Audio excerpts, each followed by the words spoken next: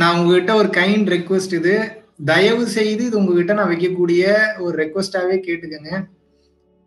இந்த குரு அப்படின்னா தயவு செஞ்சு என்னை யாரும் கூப்பிடாதீங்க. ஏன் அப்படின்னா குருன்ற அந்தஸ்து அப்படின்றது அந்நியான வாழ்க்கையில நமக்கு எது கத்து தந்தாலும் குரு தான். இந்த ஸ்பிரிச்சுவல் லைஃப்ல குரு அப்படின்றது ரொம்ப ரொம்ப ரொம்ப ரொம்ப ஒரு உயர்ந்த படி.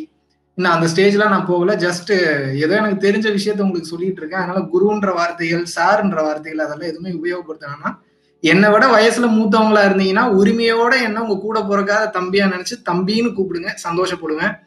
ஒருவேளை என்னோட வயசுல கம்மியா இருக்கீங்க அப்படின்னா என்னை அண்ணான்னு கூப்பிடுங்க இன்னும் சந்தோஷப்படுவேன். எனக்கு வயசு ஜஸ்ட் இருபத்தேழு தான் ஆகுது. ஸோ மக்களுடைய நற்பணிகளுக்காக மக்களுக்கு நல்லது செய்யணுன்றதுக்காக தான் இந்த ஒரு விஷயத்த ஸ்டார்ட் பண்ணி போயிட்டு இருக்கு ஸோ உங்க அனைவரையும் சந்திப்பது மகிழ்ச்சி. மெயினா இந்த சேட் பண்றதுக்கு உண்டான மெயின் ரீசனே என்னன்னு வந்து கேட்டீங்கன்னா நான் வீடியோஸ் போடும் போது ஏகப்பட்ட டவுட்ஸ் வந்து உங்களுக்கு வருது. கீழே ஏகப்பட்ட கமெண்ட்ஸ் என்னால படிக்க முடியல. என்னால மற்ற வேலைகளை கொஞ்சம் ஆக்குபைடா இருக்கிறதுனால எல்லாத்துக்கும் உட்காந்து ரிப்ளை பண்ணிட்டு இருக்க முடியல. ஸோ அதனால இன்னைக்கு ஒரு லைவே வந்து ஒரு ஞாயிற்றுக்கிழமை அதுமா நீங்களும் ஃப்ரீயா இருப்பீங்க. உங்களுக்கு கேட்கக்கூடிய கேள்விகளுக்கு ஏதோ எனக்கு தெரிஞ்ச விஷயத்த குருவின் அருள்னால குருவே சரணம். காஞ்சி விஸ்வநாத சுவாமிகள் அவர்களோட அருள்னால இன்னைக்கு உங்களுக்கு கிளியர் பண்ணலான் இருக்கேன். சந்தோஷம். உங்களோட டவுட்ஸ் ஏதாவது இருந்தா ஹாய் ஹலோ வணக்கம்லாம் எல்லாத்துக்கும் ஹாய் ஹலோ வணக்கம். கிடைக்கக்கூடிய நேரத்தை கொஞ்சம் யூஸ்ஃபுல்லா யூட்டிலைஸ் பண்ணலாம்னு நினைக்கிறேன். ஸ்ட்ரெயிட்டா நம்ம கண்டென்ட் குள்ள போலாம். உங்களுக்கு ஏதாவது டவுட்ஸ் இருந்ததுன்னா வரிசையா கேளுங்க. அதுக்கு முடிஞ்ச அளவுக்கு என்னால முடிஞ்ச அளவுக்கு நான் வணக்கம் சொல்றேன். பதில் சொல்றேன். நமஸ்காரம். ஹலோ வணக்கம் வணக்கம் வணக்கம். நந்தகோபாலன். ஹலோ ஜி வணக்கம் ஜி வணக்கம் தம்பி. வணக்கம் அக்கா. வணக்கம் அண்ணா. அண்ணா very much waited hello okay அண்ணா கரெக்ட் பாசிட்டிவ் நெகட்டிவ்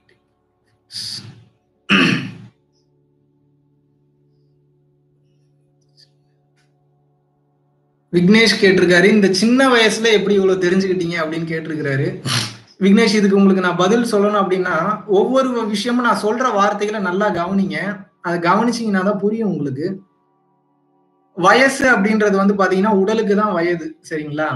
ஆத்மாக்கு அப்படின்றது வயது கிடையாது. போன ஜென்மத்தோட விட்டகுறை தொட்டகுறை. எங்க விட்டுன்னு தெரில எங்க தொட்டன்னு தெரியல. அதனுடைய விட்டகுறை தொட்டகுறை தான் இந்த ஜென்மத்துல எனக்கு இந்த ஸ்பிரிச்சுவல் பாத் வந்து இவ்வளவு ஈஸியா கிடைச்சிருக்கு. குருமார்களோட அருள்னாலதான் இவ்வளவு விஷயம் என்னால பேச முடியுது. இன்னொரு விஷயம் சொல்லணும் அப்படின்னா எனக்கு புக்கு படிக்கிற பழக்கம் இல்லை. நல்லா கவனிங்க. எனக்கு பழக்கம் கிடையாது. ரொம்ப இன்சிஸ்ட் பண்ணி யாராவது இந்த புத்தகங்கள் படிங்கன்னு சொன்னா மட்டும்தான் படிப்பேன். அது ஃபுல் புத்தகம் படிக்கிறது ரொம்ப டவுட்டு அப்படி இருக்கிறப்ப எனக்கு புத்தகங்கள் படிக்கிற பழக்கம் கிடையாது. அதிகமா வீடியோஸ் பார்க்கக்கூடிய பழக்கமும் கிடையாது. அப்புறம் எப்படி என்னால இவ்வளவு தூரம் பேச முடியுதுன்னா இந்த மேட்டர் ரொம்ப ரொம்ப மெயின் நல்லா கவனிங்க.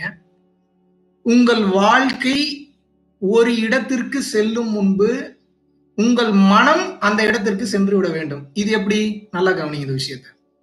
இப்போ எனக்கு கல்யாணம் ஆகி குழந்தை குட்டி பிறந்து எனக்கு என்ன பிரச்சனை வரும் அப்படின்ற ஒரு விஷயத்த நான் கல்யாணம் ஆகி குழந்தை குட்டி பெத்துக்கிட்டு அந்த சுச்சுவேஷன் போய் அந்த பிரச்சனையை நான் அனுபவிக்கிறதுக்கு இந்த மனசுக்கு அபாரமான சக்தி இருக்கு. அப்ப நீங்க என்ன பண்ணலாம்னா எனக்கு இப்படி ஒரு கல்யாணம் ஆகி இப்படி ரெண்டு குழந்தை பிறந்த அந்த ரெண்டு குழந்தைனால எப்படிலாம் எனக்கு பிரச்சனை வரும்? இது எங்கெல்லாம் என்ன கொண்டு போய் சிக்க விடும்? இதனால வரக்கூடிய பாசிட்டிவிட்டி என்ன நெகட்டிவிட்டி என்னன்னு சொல்லி என்னுடைய மனசு அந்த இடத்துக்கு நான் சீக்கிரம் கொண்டு போய் நிப்பாட்டிட்டேன்னு அது ஒரு செகண்ட்ல போயிடும் அப்படி. இதுக்கு பேர் தான் கேள்வி ஞானம்னு சொல்லுவாங்க. இப்படி உங்களுக்குள்ளேயே கேள்வி கேட்க கேட்க கேட்க கேட்க நீங்க ஒரு விஷயத்தையும் தெரிஞ்சுக்கவே வேணாம். உங்களுடைய மைண்டே உங்களுக்கு எல்லா கேள்விகளுக்கும் பதில் கொடுத்துரும். இதுக்கு பேர் தான் சித்தாந்தம்னு சொல்லுவாங்க. புத்தகங்கள்ல படிக்கக்கூடிய விஷயங்களை வேதாந்தம்னு சொல்லுவாங்க. உங்க சித்தத்துல இருந்து விஷயங்கள் வெளியில தெரியுது பாத்தீங்களா இதுக்கு பேர் சித்தாந்தம்னு சொல்லுவாங்க.